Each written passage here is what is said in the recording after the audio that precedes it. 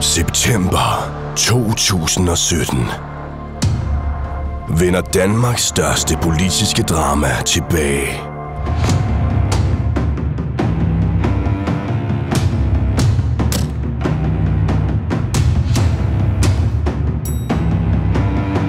Manipulation, magtmisbrug, mor. Altså, der er jo ikke nogen mor. Det er jo et comedy show om printere, der ikke virker, og, og meningsløst samråd om arbejdspladsvurderinger. Det skal jo være sjovt.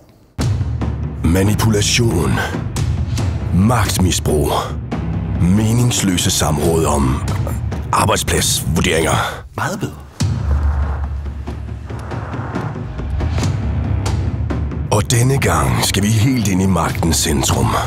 Til dem, der virkelig bestemmer i Danmark. Jamen, der skal man måske så lige... Hvad? Om det er bare, når du siger dem, der virkelig bestemmer, så tror jeg, der er mange, der tænker McKinsey. Og det handler jo om politikerne.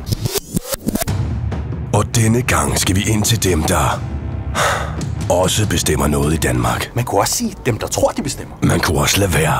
Jo, jo. Det andet er også godt. Efter publikumsbragene Djøf med løgn 1 og Djøf med løgn 2 er Peter Helge tilbage med Djøf med... Øh, Per? Hvad? Jamen, du fik sagt Peter Helge. Og det er jo, det er jo Per. Hvem fanden interesserer sig for, hvad du hedder? Nej, Nej det er vist rigtigt nok.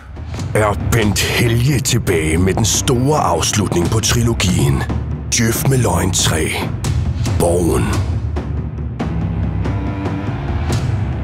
Kan vi tage den en sidste gang?